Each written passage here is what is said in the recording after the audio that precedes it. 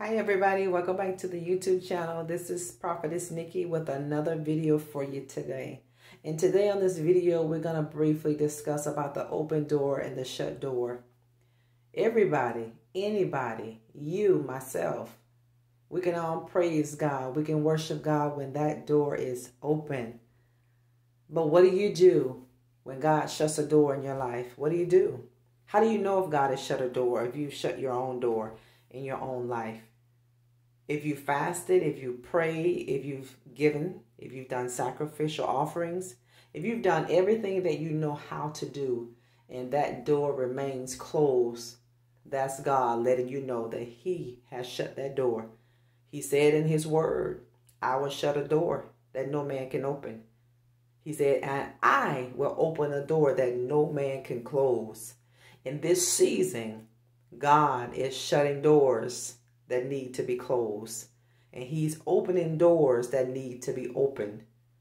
God is moving you in a greater dimension. God is placing you in places and positions and promotions that you have even imagined, you can't even think, you can't even fathom. So you're going to have to trust God in this season of the shut door. This is the season of the shut door. He didn't shut it because he didn't love you. God heard things that you didn't hear. God heard conversations about you that you didn't hear. God seen things that you didn't see. Yes. God had to shut some things down. And you're going to thank God later in your life. Maybe not today because you don't understand, but I'm here prophetically, prophetically to tell you today. If God shut this door in your life, embrace it. Embrace the shut door because it is for your good, because God has greater for you.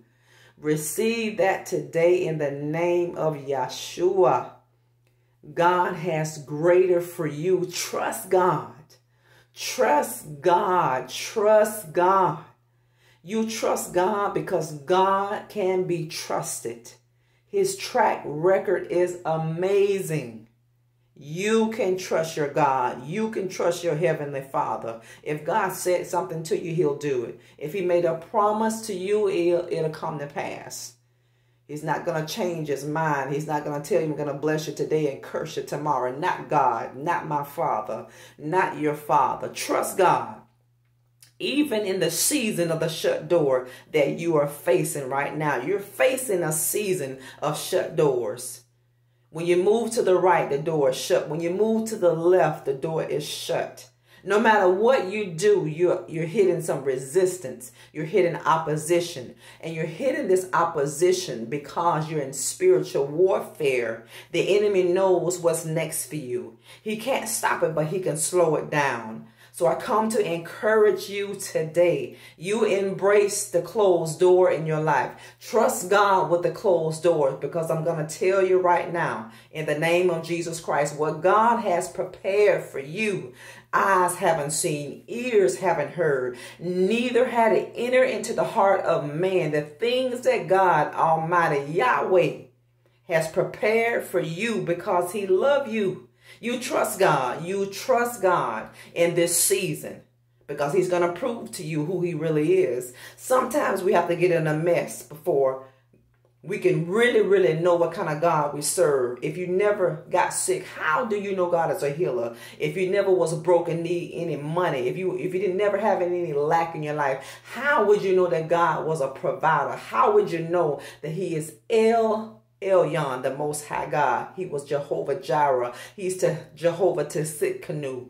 God is all that and more. So let God prove himself to you tonight, people.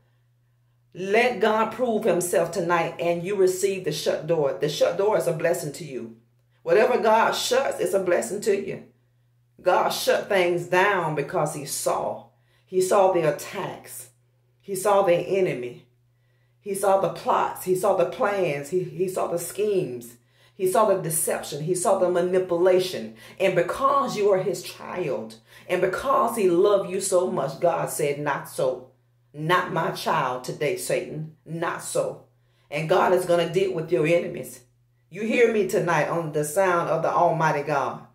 God is going to deal with your enemies in this season. They're going to wish to God that they never touched you.